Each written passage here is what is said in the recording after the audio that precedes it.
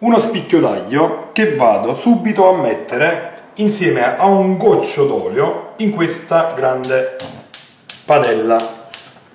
Vado ora a tagliare un pezzettino di cipolla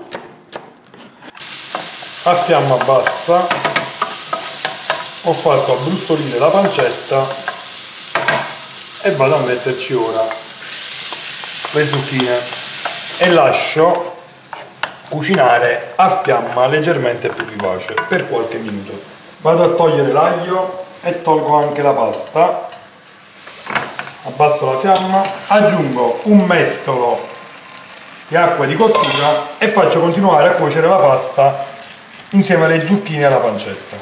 La pasta è quasi al dente, quindi asciugata l'acqua vado ad aggiungere il pesto. Aggiungo il parmigiano,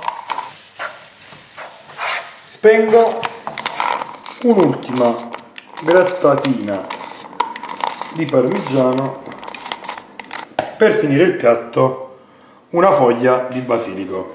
Allora, questo è il mio piatto, io vi auguro buon appetito, vi invito a provarlo, lasciate un like, commentate, condividete e iscrivetevi al canale. Ciao a tutti!